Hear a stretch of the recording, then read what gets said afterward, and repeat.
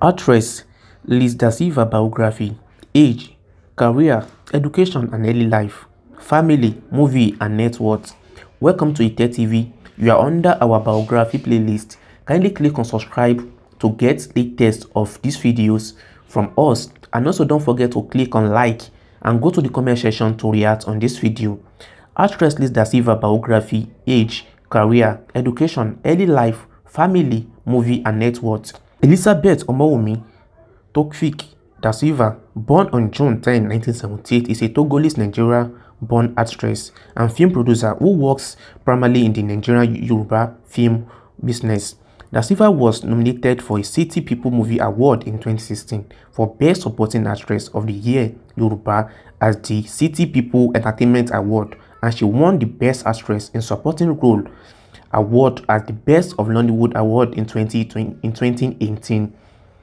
So let's go into the aspect of Liz Da education. Liz Da was born to Togolese parents who were living in Nigeria in Obalende, Lagos State. On May 10, 1978, the Nigerian Togolese actress was born. The Nigerian Togolese actress referred that her family is a polygamous. Her basic education was received in Lagos State, while her secondary education was received in Ireti Grammar School in Lagos State. She went to complete her studies at Lagos State University and earned a degree.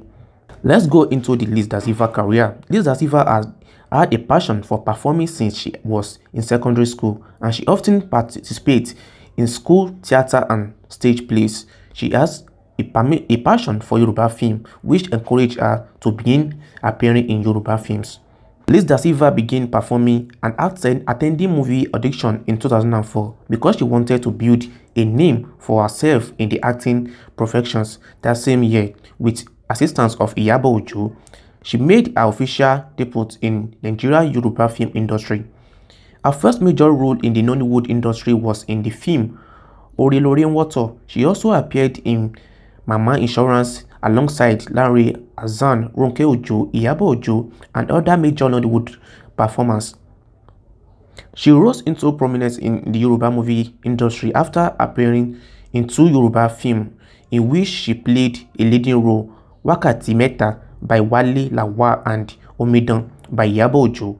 She's an extremely skilled Nollywood actress that can play any role that is given to her. In 2012, she produced the film Mama Insurance, which included renowned Yoruba actor and actress like Iyabo Ojo, Ronke Ojo, Larry Hassan, Ayo Mogaji, and Doris Simon. So, is there any other thing you are expecting us to mention about Liz Da? You can go to the comment section and react on this video.